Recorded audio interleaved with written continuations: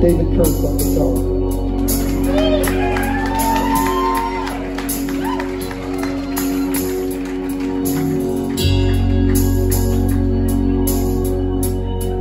Twenty years down, where they go?